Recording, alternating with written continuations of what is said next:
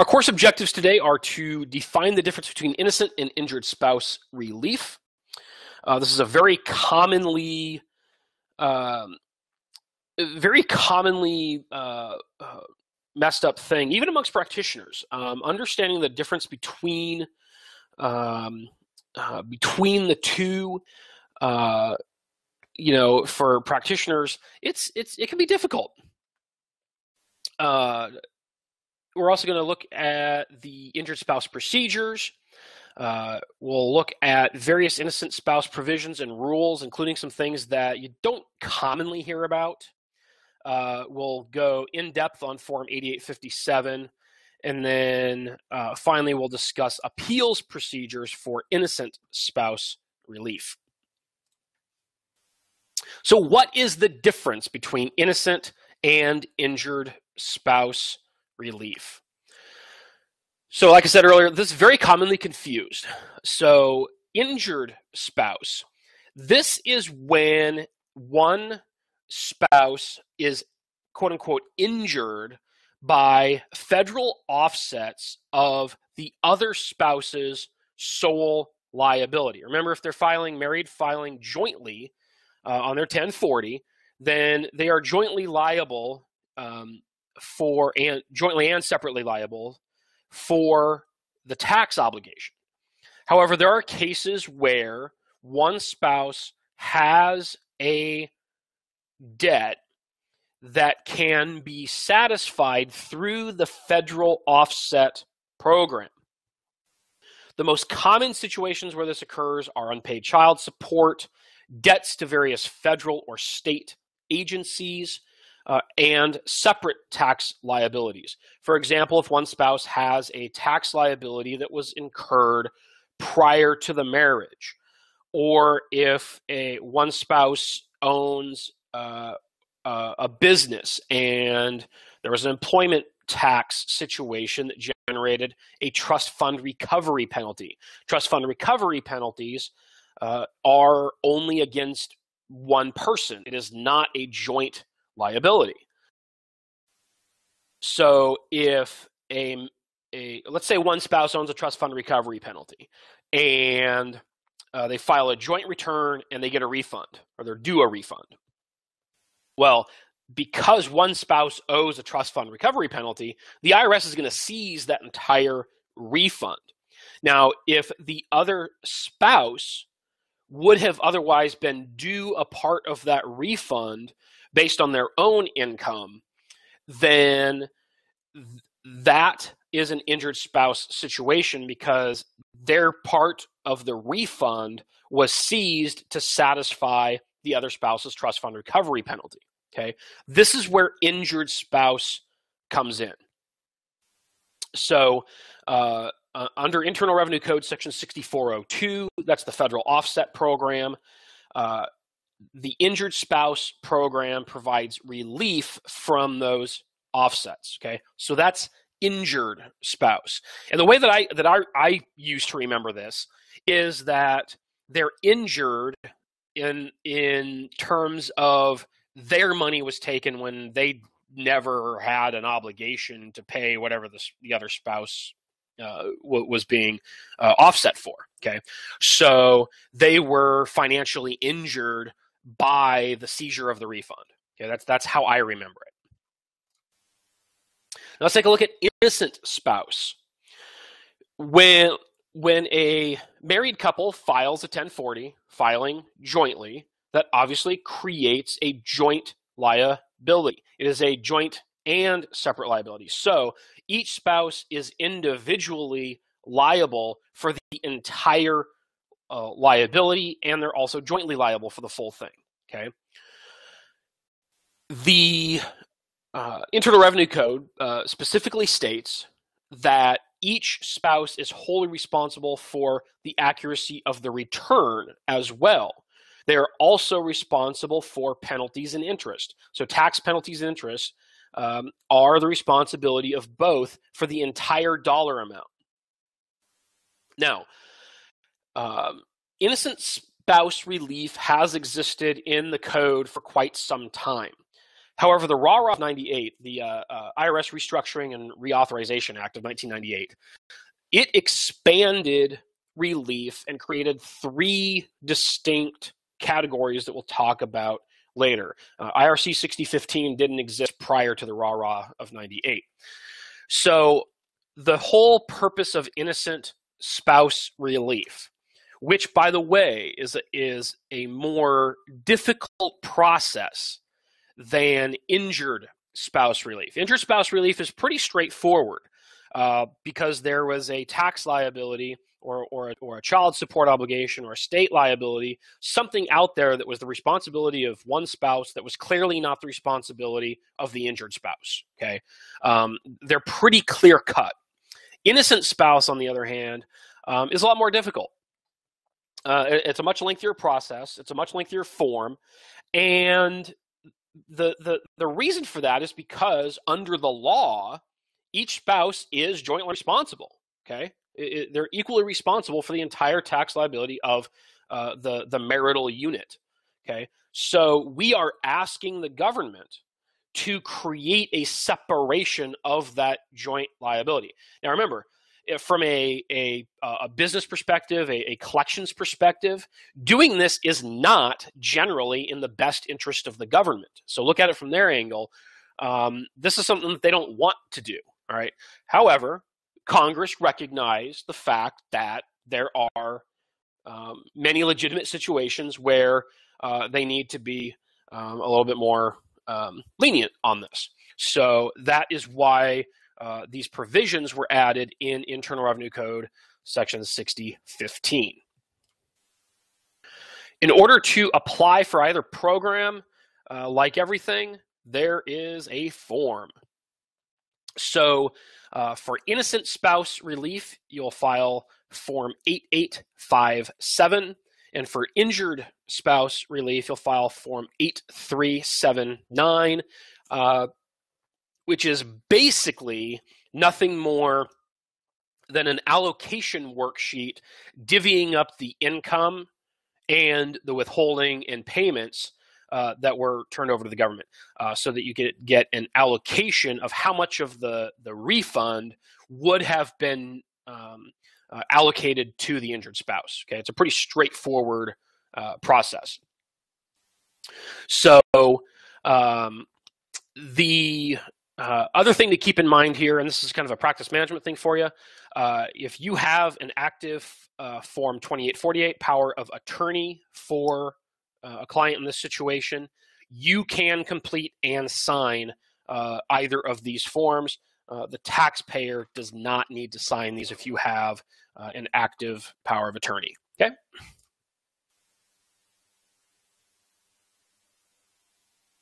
So let's talk about injured spouse procedures. Remember, injured spouse is when a federal offset of a refund or overpayment is applied to the uh, some sort of a liability uh, of one spouse that's not owed by the other. So uh, this requires that we talk a little bit about the federal offset program. Injured spouse claims arise directly as a result of federal offsets. Uh, if you're not familiar with, with the offset program, uh, offsets are nothing more than interceptions of refunds, uh, overpayments, or payments. Uh, what I didn't put on this slide was that offsets can also be um, in the form of Social Security. Okay, um, up to 15% of uh, Social Security payments can be subject to the federal offset program uh, in the same way that refunds or overpayments are. Um, if you are a government contractor, your payments under that government contract can be subject to the federal offset program. So, uh, if you have a uh, an individual consulting contract with some federal agency, okay, the and you owe a federal tax debt, a child support obligation. Well, the Treasury can take payments that they would otherwise send to you under your, your federal contract and apply those to these other obligations. So uh, overpayments are first applied to federal tax debts. Um, and this is all federal tax debts. Um, and even within this, there is a priority order. Uh, for example, trust fund uh, obligations go first. Uh, uh, so if you have a refund or a federal payment of any sort that's coming to you and you owe an obligation, uh, federal tax debts take top priority. Um, after that, you have unpaid child support. That is the second priority um, in the allocation after federal tax debts. Uh, and then the rest of these are not in um, priority order. Uh, but if you, for example, received an excessive unemployment compensation amount, uh, then that can be paid back to the government through the federal offset program, and then of course state tax debts, and then tr- other Treasury offset program obligations. So uh, this is where the entire problem about injured spouse originates. So some some procedural things for you to keep in mind.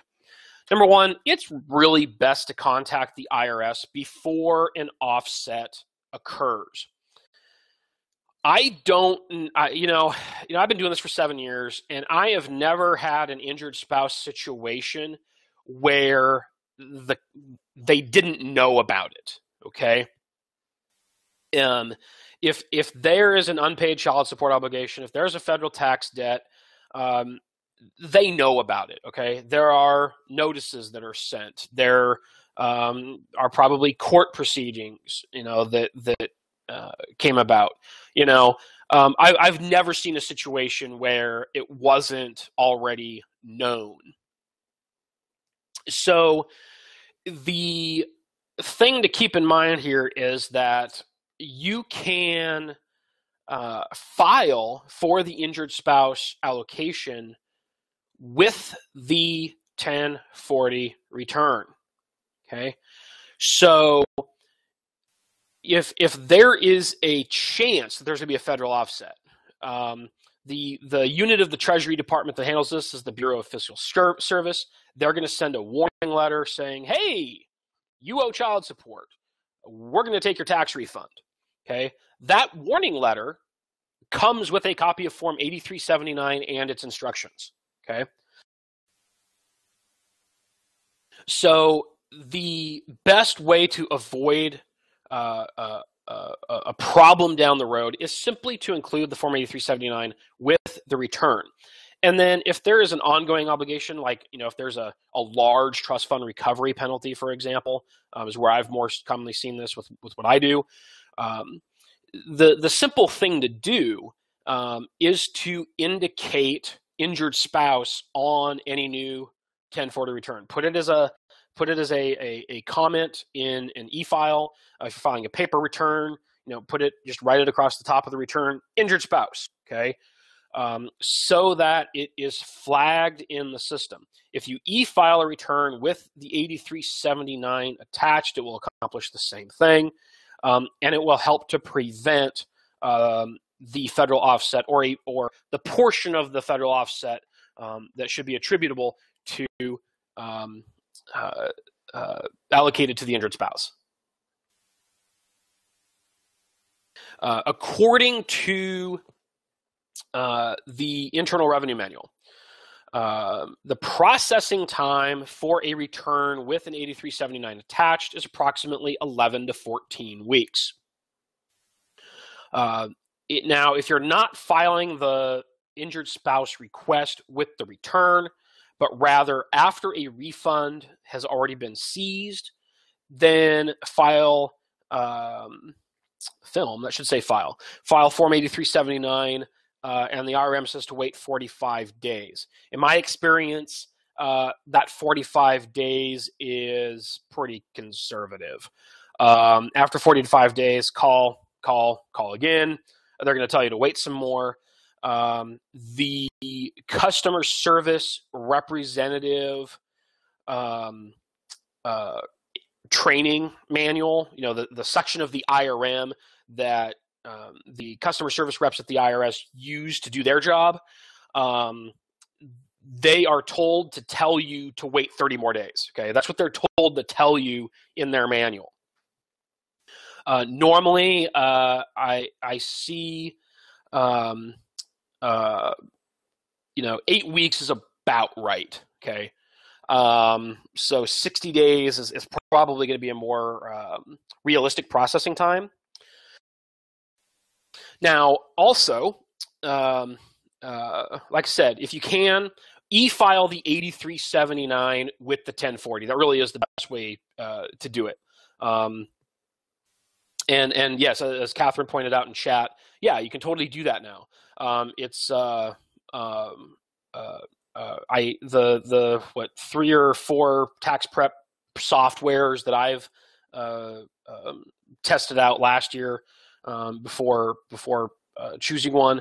Um, all of them that I looked at included the 8379. None of the commercial pr- tax prep softwares that I, I tried out did not have it. So they all should have the ability to file e-file the return, um, uh, e-file the 8379 with the return. Okay. Um, however, do note if you don't file the 8379 with the return or a refund occurs because they quote unquote didn't know about the problem uh, and it comes up later and you're on the phone with the IRS, um, the customer service representative may tell you, oh, you need to mail in the form uh, separately. Okay. Um, and that's bogus information.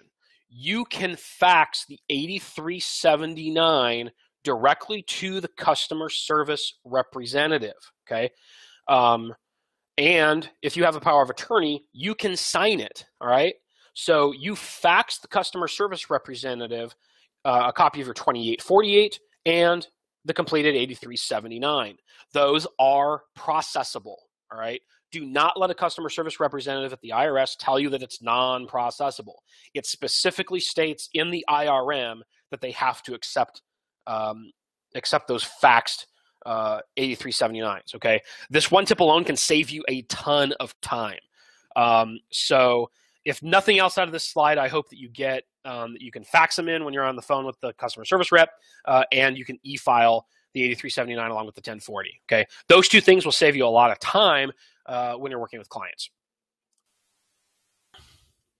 So now let's talk about innocent spouse relief. Okay, this is the much bigger topic than the injured spouse relief. keep in mind the the Internal Revenue Code did contain uh, some uh, innocent spouse provisions prior to the RA RA of 98. Okay. The thing that RA RA did is that it uh, it streamlined the process. First of all, um, it it made things a lot clearer. Okay, and by adding Internal Revenue Code section 6015, it gave us three different uh, avenues that we can take uh, for obtaining innocent spouse relief.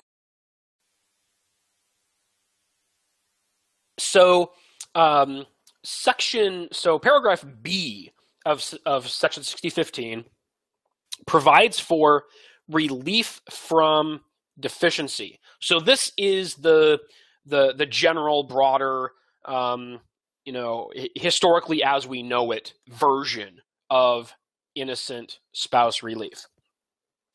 But it also created uh, 6015 paragraph C, which is the separation of the liability.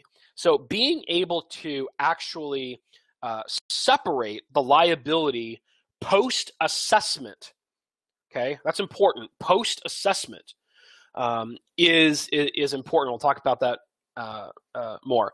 Um, the, the separation of the liability under 6015C um, is particularly of interest in community property states. Um, uh, and, and as was mentioned over in chat, yes, the IRS does have to apply uh, state community property laws to innocent spouse relief situations. Um, and when I was putting this presentation together, uh, I, I, debated getting into the community property stuff. But the, the, the reality is, we could spend an hour just talking about that. It's a very uh, in depth and involved subject. So um, that's something I'll do in a future presentation. Um, but uh, keep in mind that uh, it, it is a factor, and this uh, separation of liability provision uh, comes into play in these community property situations. Uh, and then Section F of 6015 uh, provides what's called equitable relief. This is the um, the um, uh, it, this is the uh, effective tax administration equivalent from the offer and compromise world to the innocent spouse relief uh, world. Um, equitable relief allows the IRS uh, discretionary granting of relief um, after collections activity has already taken place. So um, you could look at it in kind of a way as almost an injured spouse um, sub provision under innocent spouse relief. Um, because equitable relief provides um, for refunds after collection. And then uh, you'll see here, I did put in the brief uh, thing about community property states. Um, married taxpayers in community property states that file separately may still be liable for a spouse's tax debt under state law. Okay. Um, so if, if you live in one of the community property states, um, it behooves you very, very much to uh, understand your state laws uh, in regards to married filing separately situations, not just married filing jointly situations. Um, and a lot of uh, uh, tax professionals I talk to in community property states um, don't, uh, you know, they're they're very familiar with the married filing jointly uh, provisions, um, but they uh, some of them are not aware of this married filing separately provision. Um, so be sure you take that into consideration if you live in a community property state and be sure to research that. So there are time limits for filing for innocent spouse relief. If you are filing under uh, uh, the, the, the, the more standard provisions, um, not the equitable relief provision, you must file your request within two years of whatever collection activity you are requesting relief from. So, where this is really going to come into play for a a you know a practical scenario, the the the the IRS is going to send out its normal notice cycle, right? On a, on a on a tax obligation on a uh, uh, a tax return. So that is the start of the collection activity. Uh, so when you get that first, you know, 21 day letter, uh, that starts the IRS collections cycle. And uh, you know, if if you filed the return that is being collected upon, then hopefully your client will come to you with that letter saying, "Hey, look, you know they're coming after us for the money, and they're they're telling us, you know, it's we both have to pay it." Um, so if they can't pay the obligation, and there is going to be an innocent spouse situation, then you, as a practitioner, uh, it, it, behooves us, um, and it's just good customer service for us to be really on the ball in terms of saying, you know, uh, hey, you know, we need to get on this innocent spouse thing now. So uh, keep that in mind that there is a time limit on this. For the equitable uh, relief provisions, this is after you know money has already been paid over, refunds have already been uh, offset. Uh, uh, you know, payments have already been made. The debt's already been paid off. Even um, if you're requesting innocent spouse relief under equitable relief, which is provision F, this is a, a, different time period. Okay, the RSED, uh, the the refund statute expiration date, um, and the CSED, the collection statute expiration date. The innocent spouse relief must be applied for within either of those two periods. Okay, so if you're requesting a, uh, you know, if you're basically remember uh, Section F, it's a claim for refund, is what it is. Okay, so your your two year limitation on uh, a claim for refund, that's the RSED, it applies in innocent spouse situations. Right, um, and then also a note: if you are applying for relief under um, under the allocation section, which is 6015C, uh, no refunds are allowed uh, when you're using that allocation election. Uh, a question in chat What was the 21 day letter? Um, the 21 day letter, also called the SNOD uh, for short, the statutory notice of deficiency. Uh, this is the it's it's the initial bill that they send you. Okay, um, it is not the lien notice. Uh, the 668Y, the the notice of federal tax lien, uh, will come, uh, you know, several, you know, a couple months later. Um, but the 21 day letter uh, is the, you know, is the the here's your bill, demand for payment. And the reason it's called a 21 day letter is that um, in the vast majority of situations, uh, the, the the service the, the will grant you a 21 day leniency period uh, to pay the obligation um, uh, in order to avoid uh, penalties and interest, additional, pen- uh, uh, additional penalties and interest on that. Um, so if you can pay it within the 21 day period, then the taxpayer saves some, some money. Okay, so that's why it's called the 21 day letter. Let's talk about collections action uh, in regards to innocent spouse cases. Uh, once you file for innocent spouse relief, um, the the IRS is is barred from taking their normal collections action. Okay, um, this means they can't levy. This means that um, they they can't initiate seizure proceedings.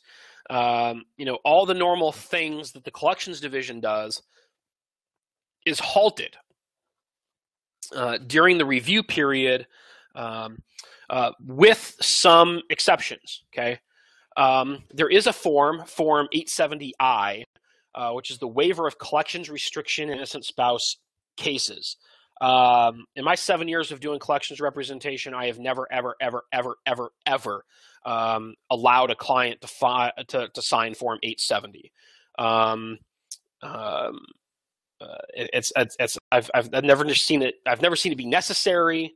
Um, I could I, I can envision situations where it could be uh, a negotiating tool, um, which is what we commonly do um, over on the trust fund recovery penalty side. It's it's very common um, uh, to to sign a waiver of um, the three year assessment statute uh, limitation uh, for for assessment of the the trust fund recovery penalty um, in order to get a um, an in business trust fund installment agreement.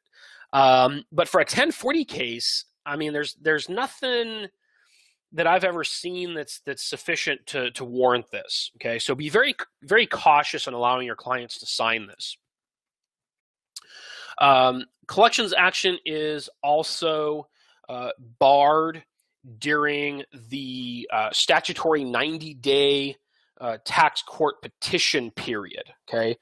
Um, uh, so there are uh, various situations that incur um, this 90 day review period where you can file a tax court pe- petition.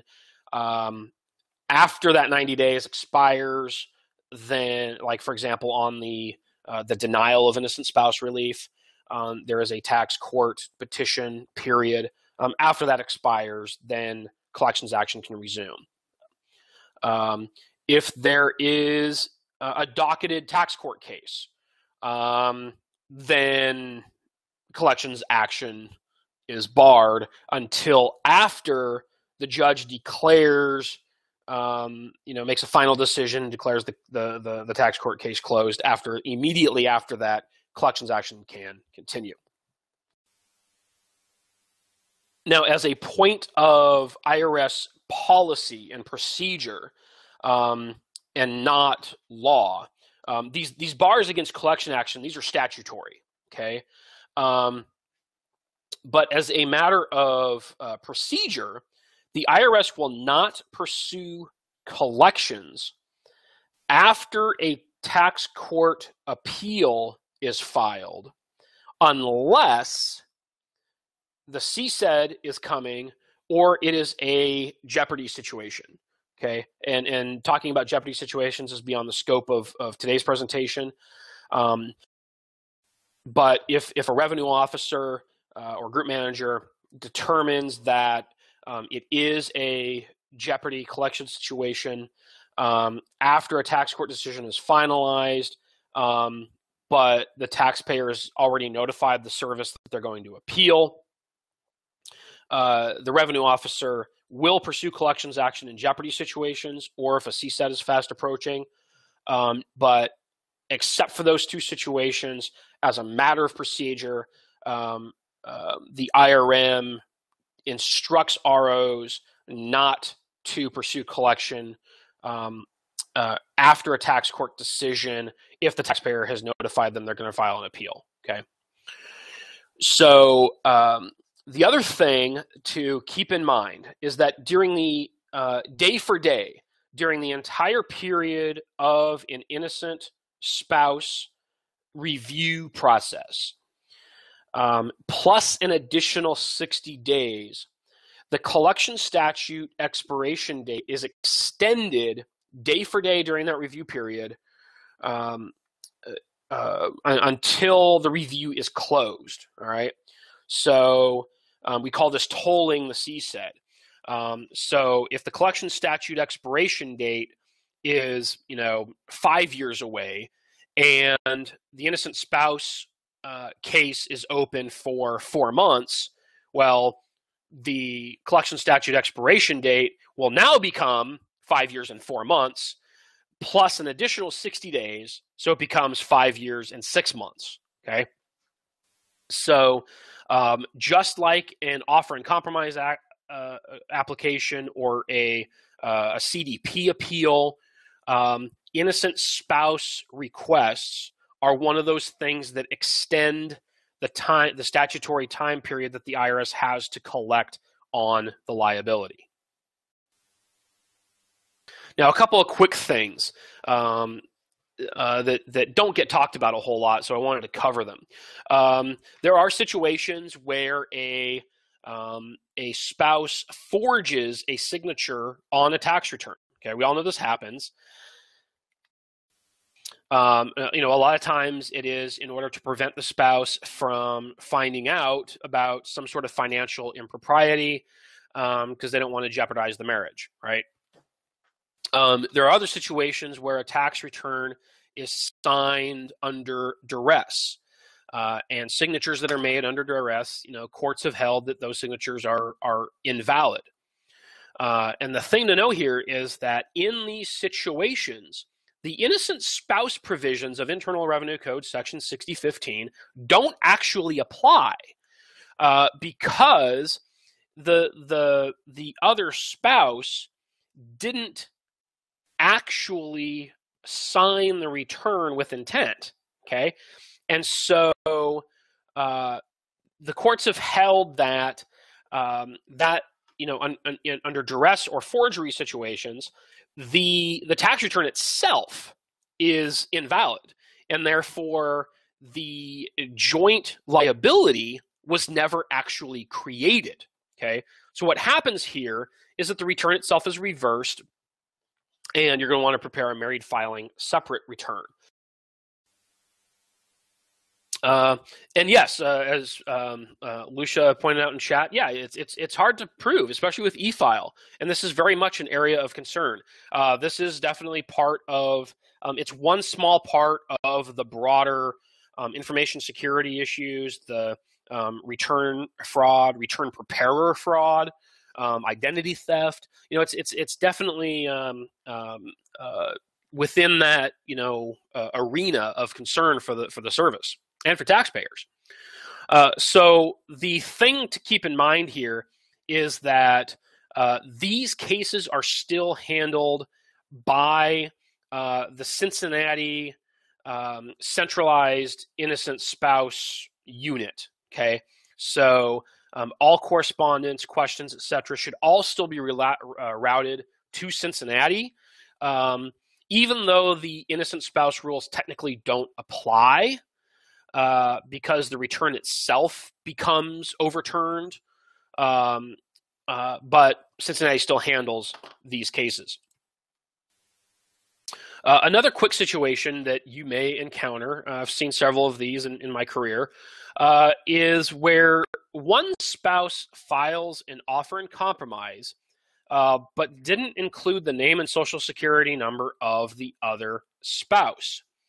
Uh, where I most commonly have seen this in my practice is in trust fund recovery penalty representation cases.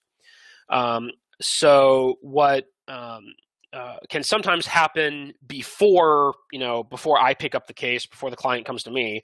Um, they will have already filed an offer in compromise, thinking it was the right thing to do because they had a, a trust fund recovery penalty that was already assessed. Um, and in case you didn't know this, yes, you can compromise trust fund obligations. Okay, um, so they'll file the OIC on the trust fund recovery penalty, um, the 6672 assessment and then they'll go, oh, hey, I, I owe X dollars in personal income tax liability also. So I'm just going to put that on the offer and compromise application as well. But they only do it in their own name with their own social security number because if you read the the the uh, the instructions for you know filing it for trust fund recovery penalty, that's what it tells you to do. Okay, um, and then they just check the box for the 1040 also but they leave the other spouse off. Okay. And then if that offer in compromise gets approved, guess what? That spouse is now off the hook for the 1040 liability. But because it is a quote unquote joint and several liability, the other spouse is still on the hook.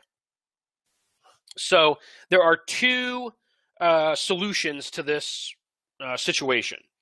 Uh, one is innocent spouse relief application. The other is for uh, the other spouse to file their own offer and compromise. Um, the um, uh, the the the faster way to do this is through the innocent spouse side, not the offer in compromise side. Okay. Um, the uh, much of the information, as you'll see on the forum here in a minute, are are largely the same. Uh, but the process for innocent spouse relief is a lot faster. Okay, you don't have to wait around for six to twelve months waiting for an offer to be approved. So, um, in this kind of a situation, um, apply for innocent spouse relief, and um, the the argument to be made with innocent spouse relief is simply, well, the, my my spouse was granted offer and compromise relief for the joint liability, and we're in the same household Therefore, I should be granted innocent spouse relief for uh, my liability on the obligation. Okay, that's the argument argument you make, um, and that's the argument that will will win. Okay. So now let's talk about Form 8857. Uh, Form 8857 is the application for innocent spouse relief. And you know what you'll notice on this form is that um, it gets pretty personal, and, and in fact, it starts to very quickly resemble a Form 433A. So, as a practitioner, um, if you are in an 8857 situation and you already have a Form 433A, it becomes very easy to carry over a lot of that information and then review it with the client. It, it helps to accelerate the the process. So basically, the form asks about the requesting spouse's involvement in the finances um, the tax preparation process, things like that, in order to determine whether they're eligible for relief and to what extent. Uh, keep in mind that um, it is not uncommon for partial relief to be granted. Okay, um, the, uh, the the the service has discretion uh, in in how they determine relief, and as we'll see on the form, um, it gets pretty detailed. Um, and they use that information uh, to determine how much relief to grant. It's not black and white. It's not zero or all. Um, it, it, it, it is definitely a continuum. And here is my note to myself to switch to screen mode. So let me go ahead and do that.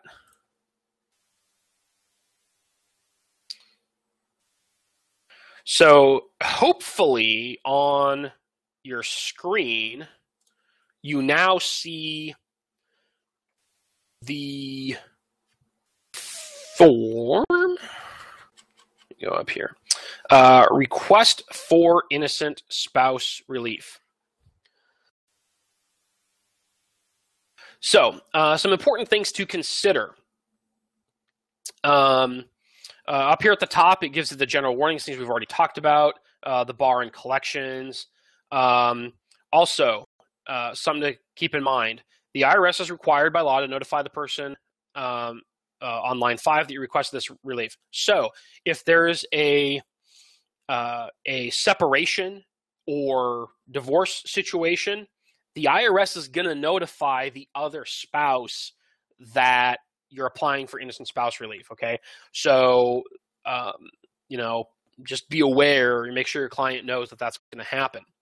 Um, however, the, the IRS is prohibited from disclosing um, uh, the requesting spouse's current name, address, phone number, or employer. Okay, um, and that is for you know uh, d- uh, domestic violence uh, prevention, obviously. So let's go really quickly uh, through the form.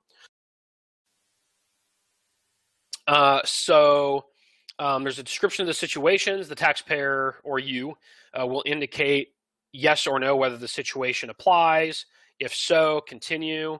Um, uh, there's a, a quick uh, question to deter- determine whether or not they should actually file Form 8379 instead.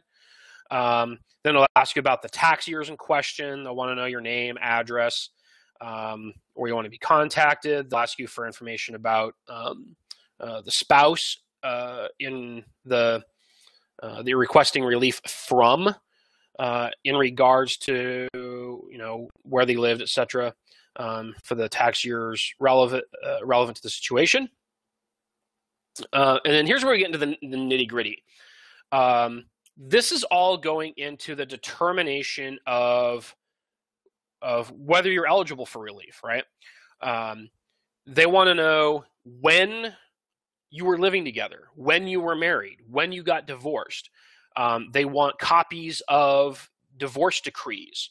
Um, they want to know what your level of education was. Now, remember, the, the purpose here is to allocate the tax liability, basically. So they're going to take into consideration your education level uh, of the requesting spouse, um, what they did, how much money they earned. Okay, those are considerations that the IRS uh, uh, um, contemplates when determining whether to grant relief. So they want to know education. They want to know if there was a domestic violence situation. And you can ask the IRS to consider this as part of their determination. Um, uh, mental and physical uh, problems, um, either at the time the return was filed or now uh, that is a consideration. I want to know how uh, the requesting spouse was involved with the finances and preparation of returns. Um, did you agree to file a joint return? Did you sign the joint return? Um, you know, this is where we get into the the signing under duress or or potential forgery issues, um, and that's where that's going to come up. Uh, part three, tell us if and how you were involved with finances and preparing those returns. Um, and most situations are going to fall into one of these check the box categories. Okay, you weren't involved, you had nothing to do with it, um, you gathered stuff together, um, you didn't know a joint return was filed. Okay, um, these are all things that they take into consideration. I'm not going to go through every single one of these. A lot of these were were um, uh, are, are self-explanatory for you when you're going through it. Plus, we're getting crunching on on, on time here. Uh, part three. Um, uh, tell us how you're involved in finances. Um, were was the requesting spouse the money person in the family? Were there joint accounts? Um, were there any large expenses? Um, you know, trips, home improvement, uh, private schooling. Uh, these get into some of the collections financial standards uh, that we off, you know, that we refer to for Form 433A that are disallowed expenses. Okay, so the IRS wants to know you have a tax liability. Did you go do something else extravagant rather than pay your tax bill? Okay. Did you take a two month vacation to Hawaii? Um, did you send your children to private school? Okay, don't forget private school. Um, you know, uh, is is a disallowed expense um, in the IRS collections process. Okay. Um, did you buy uh, a Ferrari? You know, instead of paying your taxes. You know, they want to know that. Uh, transfer of assets.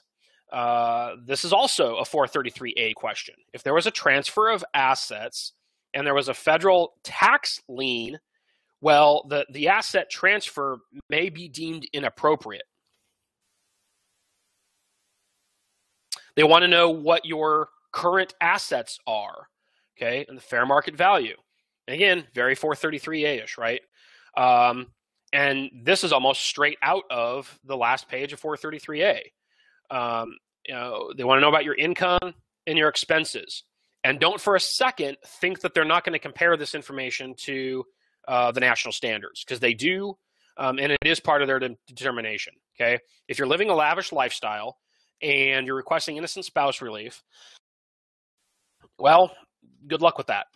Um, you know, th- this is uh, that's that's um, you know why they're requesting this information.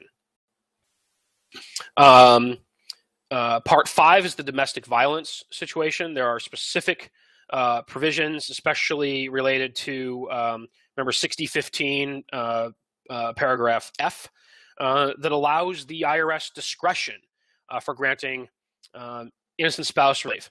And one of the big things that they take into account for that is domestic violence experiences. Uh, for some clients, this can be a um, uh, kind of a mentally taxing exercise to go through because guess what? The IRS wants copies of police reports, medical records, restraining orders, um, photos of injuries. Okay. Um, and don't forget that some of this information is also protected and regulated um, by HIPAA. All right. So, um, you know, if you're handling this information, keep in mind that you have um, HIPAA privacy uh, rules that you're gonna have to follow as well. Um, you know, so uh, the the the domestic violence, uh, spousal abuse provisions is something the IRS takes pretty seriously.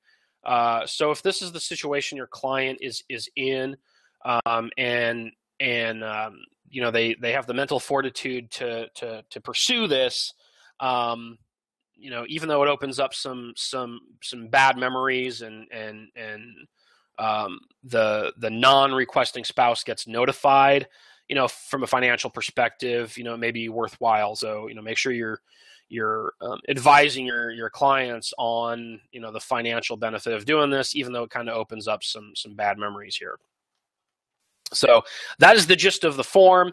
Um, uh, keep in mind with a power of attorney, you can sign this yourself. Um, but do you remember, it is signed under penalties of perjury, just like a Form 433A.